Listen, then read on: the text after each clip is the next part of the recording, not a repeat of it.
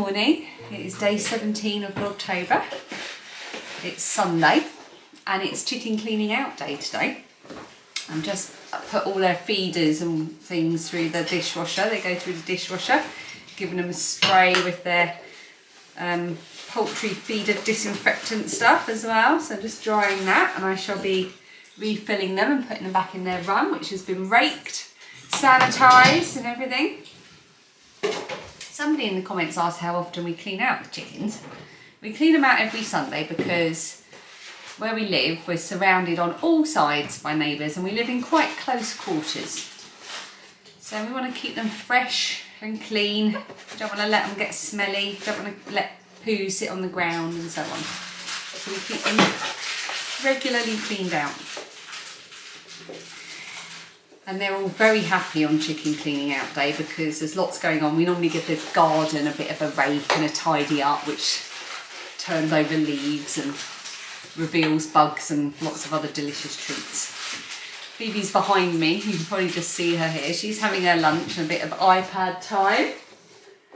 And lots of fruit by the looks of it, very good. I'm going to have my lunch once I've finished sorting out these chickens and I'm going to have fresh eggs as my reward for looking after the chickens. What else? We've had a very relaxed start. I've done some knitting, watched some YouTube. Dan's been watching the football and then the wrestling. He likes the wrestling. And um, I think we might get a takeaway tonight. Was that the plan or did I only think that in my head? You talked about getting a Chinese and I didn't disagree. We don't get takeaways often because, well, they're expensive and we're trying to save up for a possible kitchen extension. But we figured we don't do it often, maybe once a month. So we think we might get a Chinese tonight because nobody, I, I go through these phases of not liking food, not liking anything that we sort of regularly have as a meal and I just but I do, I fancy Chinese. And where, I've, where we've all been a bit under the weather, I think you've got to go with what you fancy. So yeah, once I've done this, gonna have some lunch. And then Dan's gonna take Phoebe to the park because she's on the girls football team at school. So they're gonna go, they're gonna cycle up to the park and have a bit of a practice. She plays in goal, which she loves. So he's just gonna teach her a few goalie moves. And at that point, I think I'm probably going to run the hoover around and then hopefully sit down and do a bit of knitting on my shritty socks. And that is the plan for Sunday. Let's see where it goes. I'm going to do your food. I'm going to get all fresh food for you. Yeah, there's nothing in here. Obviously. Crazies.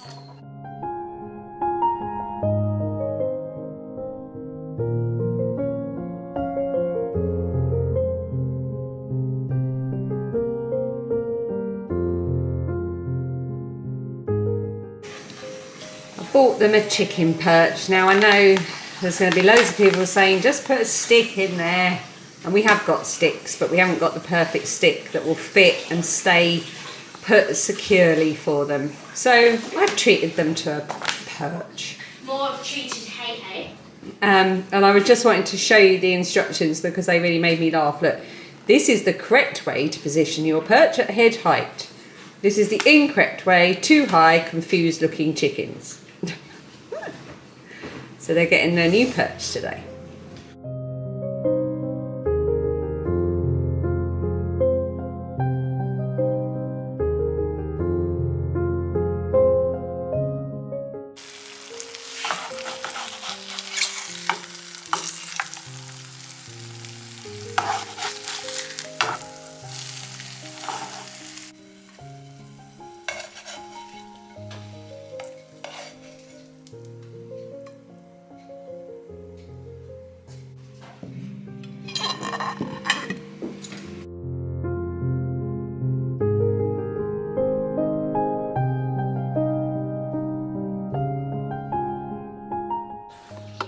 Pink where I've ground sanitised.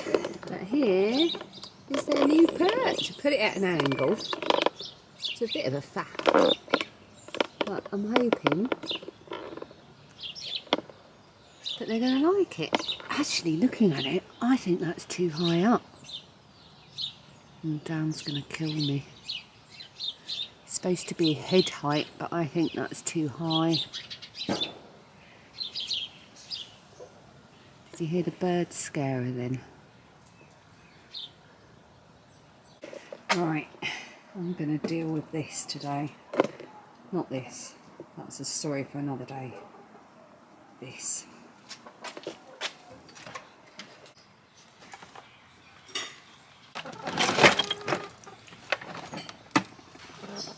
I should probably say that this is mosaic stuff. It was in the shed where we now keep all the chicken stuff. And I haven't done mosaics in years. So I put it to one side and said, right, I'll sort that out. And that was about A two and a half months ago. Oh, sorry about that noise in the background. That's Dan having his lunch. So I'm going to sort this all out and work out what's worth keeping, what's not worth keeping, and then the stuff that I do want to keep for future mosaics. Can you keep the background ambient noise down? No, I'm having my. Um, I'll have to work out where I want to put them. I suspect I'll probably store them in my mum's garage. So I've got these terracotta pots that I'd obviously started to think about doing a mosaic on. So I just got to decide whether to just put the pots into use or maybe finish the mosaic. Maybe that might be fun. It's time and space to do it though, isn't it? I've also got jars and jars of this um, glass mosaic tiles. You buy them online or at mosaic shops. They have a shiny edge and then a grooved edge um, for sort of the stick for putting the stick on. That's not the right word, the glue. It's some purpley colour. And then I've got jars with this, you know, the glass stuff that florists use. Little pebbly things. They're really nice in mosaics. Oh, and the, this is lovely. This would have been quite expensive. This is the Millefiori. I think that's how you say it. They're basically like, ooh, little glass. It's like, do you know when you get the Fimo where people make Fimo kind of canes and then cut them? It's like that but with glass. They're so pretty. So things like this I don't want to get rid of because I know that I will use those again in the future. This is a broken pot. Oh! And a little friend. We'll return him to the garden, although that might not be the best place for him at the moment. He'll probably get eaten by the chickens. Might pop him down over the wall at the end so he has a chance of survival, bless him. Hello, little friend. yeah, so broken bits of pottery and things are brilliant in um, mosaic. So if I broke a precious bowl or mug or something, I quite often save it to live again in a mosaic project. But this is going to go into the garden so I can rescue the snail.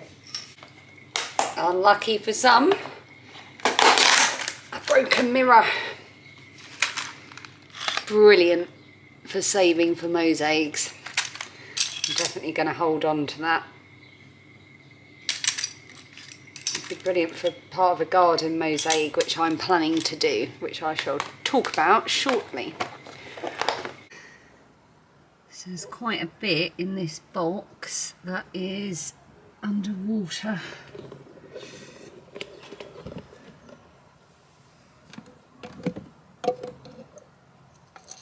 I have to double check whether they've actually got any water in there. I don't think this one has.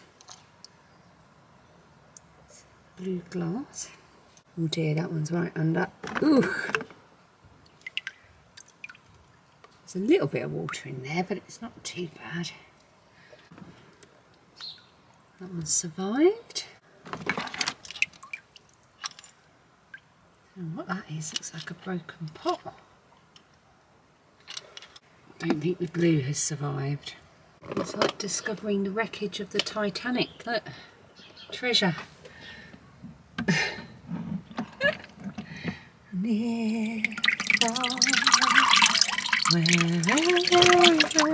going to stop singing. This is all little bits I used to collect of broken jewellery and things to add as decoration. Right, let's get it out onto a towel. I'm beginning to wish I hadn't started this, but it needed to be done. Right, these are all my Titanic treasures. It's got to work out what I'm actually going to use and what I'm not. They're all broken jewellery, basically. Oh, it's so sparkly. I mean, that's been sitting in water for ages. It's not done too badly, has it? I think it would fare well in a mosaic. What do you reckon? Bit of a magpie. I like, I like sparkly things.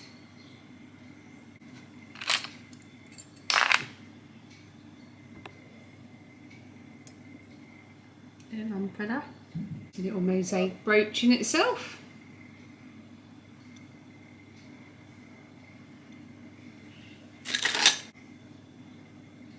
Just imagine it just sitting as a little decoration on a sort of garden mirror mosaic or something.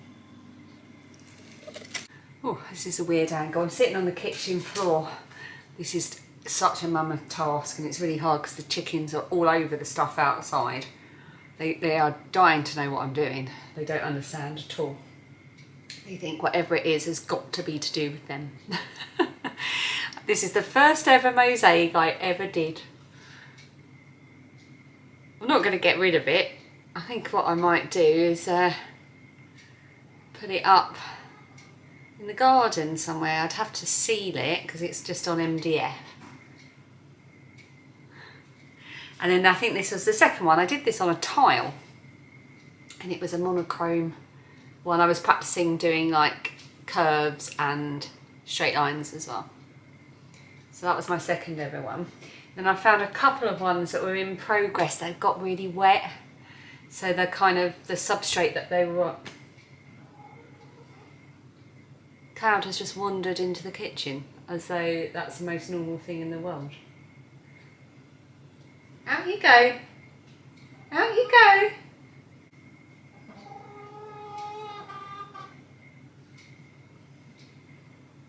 Cloud, you're a chicken, not a cat. Right, she's been evicted. Honestly, these chickens. Uh, yeah, so there's a couple of bits that I'll show you. This is actually a mirror that I was at some point doing for Lilia. It's all, the mirror bit is all taped up. But the mirror's got so wet that I'm not going to be able to save it. And it's a shame because it's a really nice little mosaic actually, or it would have ended up being. So that there you go, but you can see here the water damage is just, is not savable at all. It's just, it's even gone a bit slimy mouldy on the back, which is a shame, but there's not a lot I can do about it. I'll take a photo of it, can always do it again. It was on one of those Ikea, I don't know if you can still get them, little Ikea mirrors a few quid.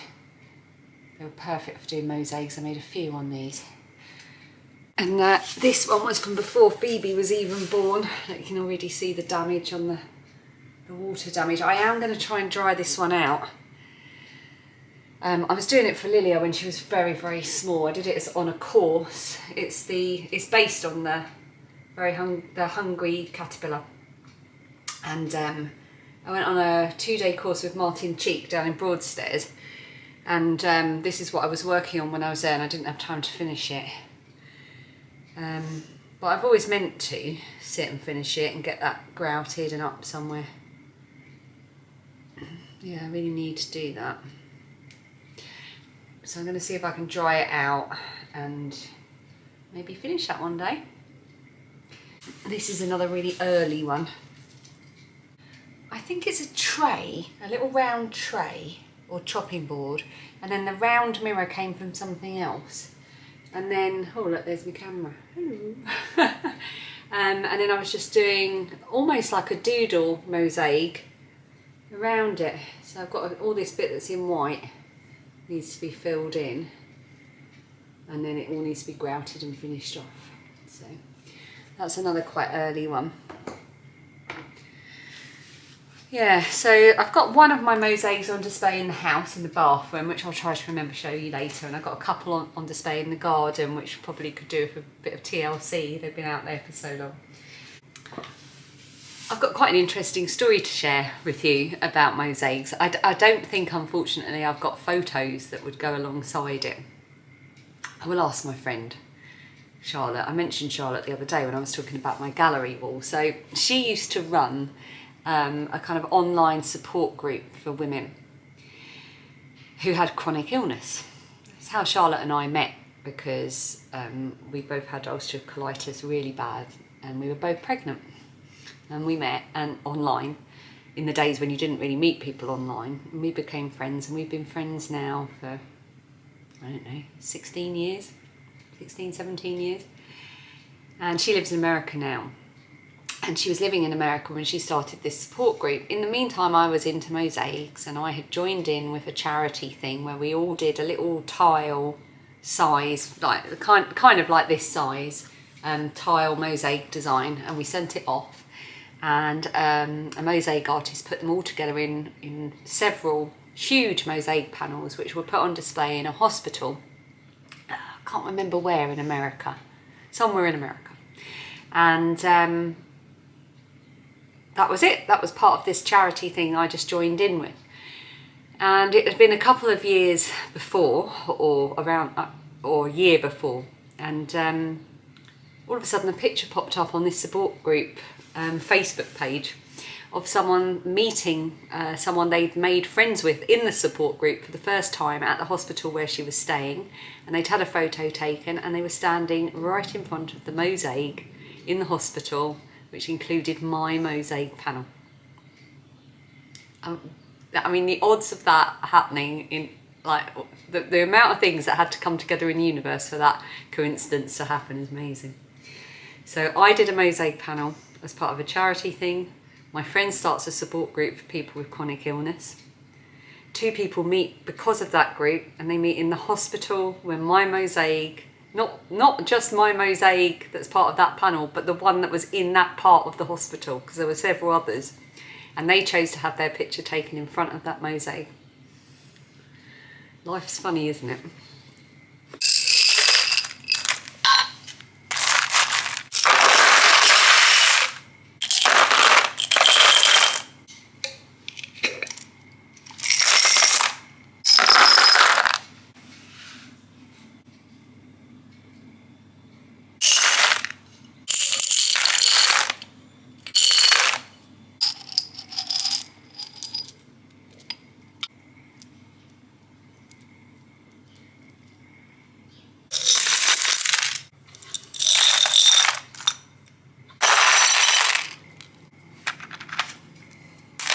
Used to get broken plates from charity shops that they would have been throwing out, and then I used to cut and chisel round the motifs to use them in mosaics. I'm definitely keeping this, That's going to be brilliant as part of a mosaic. Got all these little bits cut out. Love that pattern. It's a great way to use broken things and give them a new life.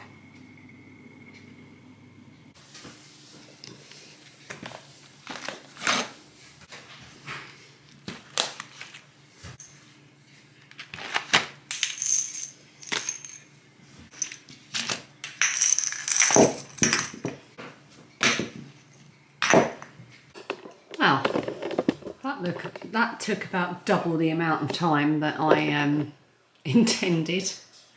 So this is everything. Well. There's a bit there, and then there's these bits, and then there's the works in progress I showed you. So I think that these are all going to fit in one box. I've moved them all out, mainly out of the jars, because the jars just add to the weight. They make things a bit awkward, and I've moved them all into these plastic tubs that we save whenever we get a takeaway. Um, so that'll be easier when I'm using it in the future. So I just need to get a sturdy box to put it all in. My mum said it's absolutely fine to store it in her garage, so we'll take it over in the week. Oh, I need a cup of tea now. I promised I would tell you about my um, planned mosaic project. Here is a toilet sitting outside the back door with a wicker pig. My battery went and I've no idea when, but I was in the middle of telling you that I have a toilet outside my back door with a wicker pig on top. Now the wicker pig has nothing to do with the mosaic. it just happens to be there. Um, because I was tidying up earlier and I just popped in there as I was sweeping. But the reason I have an old toilet outside my back door is when we did our bathroom, which would have been about two years ago now, it was before the pandemic. Just before the pandemic, we did our bathroom.